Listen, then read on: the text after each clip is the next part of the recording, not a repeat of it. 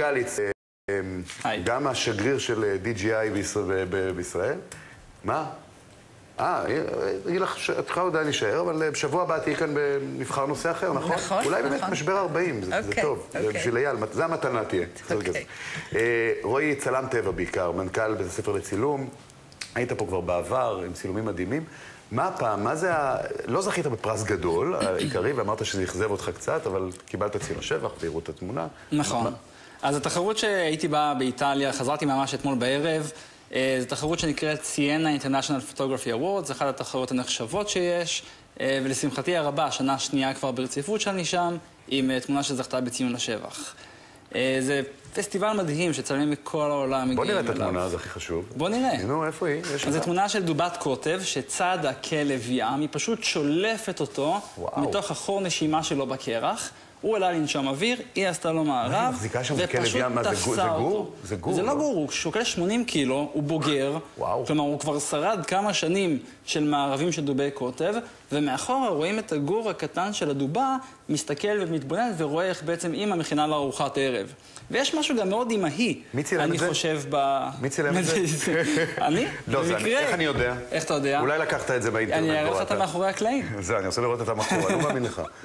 איך- איך התקרבת? איפה זה-. איפה זה צולם? בשפיצברגן, קרוב לקוטב הצפוני, וזה היה פרויקט סופר קשה, סופר מאתגר, היינו בשטח שבוע קור אימים, מינוס 20 מעלות, עם רוחות, וצריך לשבת ולא לזוז במשך שעות, שעות, שעות, אבל שעות. זה שעות. נורא קרוב לדוב, הדוב הזה נכון. הוא הוא דוב הוא מסוכן? קודם כל, הדוב זה הטורף היבשתי הגדול ביותר בעולם.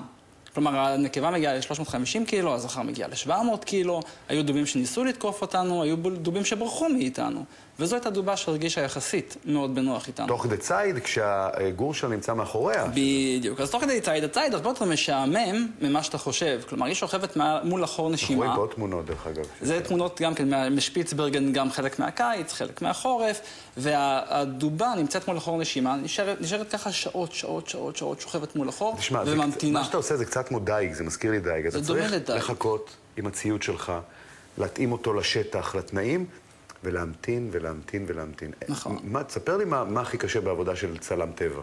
הכי קשה זה הסבלנות, בוא נגיד את זה ככה. זה כי אתה לא יודע מתי זה יקרה. אחרי שלושה ימים שכל יום חיכינו 12 שעות, 13 שעות, בשעה 6.49 בבוקר, אחרי לילה שלם שאנחנו בחוץ, פתאום זה קרה. ותוך שבע שניות זה נגמר. ואתה צריך לתפוס את הרגע ואתה הזה. צריך לתפוס את הרגע הזה, כי אם פספסת, אין הזדמנות שנייה. ואחד הדברים המדהימים לגבי אתה מצלם התמונה עם הזו... אייפון או עם אה, אנדרואיד? עם- גם וגם, עם הרחפן. רחפן. ואחד הדברים המדהימים בתמונה הזאת, זה שזה פעם ראשונה בהיסטוריה שיש תמונה כזו. מעולם לא מה, צולמה עם התנהגות של דו- דובת קוטב צד הכלב ים מאחור נשימה שלו. אתה יודע מה מזכיר לי עבודה שלך? תסלח לי על ההשוואה. עכשיו אני מוריד אותך. בכיף. פפרצי. אה, אתה יכול להגיד שזה סוג של פפראצי של הטבע. בתקופה שהם היו, היום כבר פפראצי, אתה יודע, עם האינסטגרם, ה- כן. הדוב לא יכול לצלם את עצמו, אבל האנשים מצלמים כבר את עצמם. כן, הם היו מחכים. שעות, לילות, תשאל את ברק פכטר, מתחת לבתים, בקור, נכון, בגשם, נכון, עד שהדוב נכון. היה יוצא. רק שפה לא מפריע לו. שאני פולש לו לפרטיות.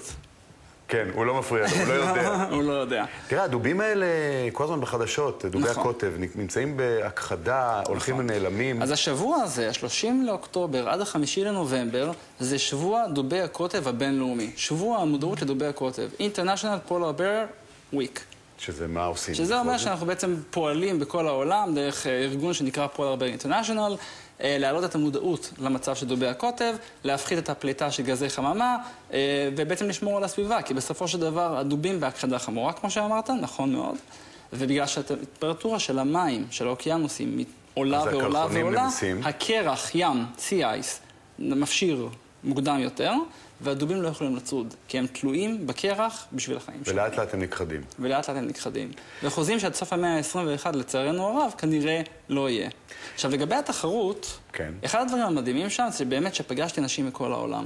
פגשתי אנשים מארצות הברית ומאיטליה ונורבגיה, ופגשתי אנשים מאומן, ערב הסעודית, איראן אה, ומדינות אחרות. זה קטע, גם אני הולך ו- לתחרויות בינלאומיות, אם זה ספורט, אם זה המקצוע שלי, של ותמיד התחזית. פוגשים שם. וכולם נחמדים. וכולם סופר נחמדים. אין, האיראנים, העיראקים, ושומעים הדובה- שאני כולם. מישראל, וכולם לוחצים כן, ידיים כן, ומפרגנים, וממש, אתה יודע, החיבור בין האנשים... ברגע שאתה מחובר, לא פוליטית, אלא אתה מחובר בתחביב. נכון. במחנה או משותף, במקצוע שהוא כן. משותף, באהבה. הגבולות. נפרצים לגמרי, כי אתה אוהב את אותו דבר, תזהר בטורנירים של כדורגל, של אומנים שאנחנו הולכים. כן. האיראנים זה אחים, כאילו, אין אין שום בעיה. לגמרי, לגמרי. אנשים אין בעיה עם אנשים. נכון. זה מה הפרויקטים. הבאים, רועי?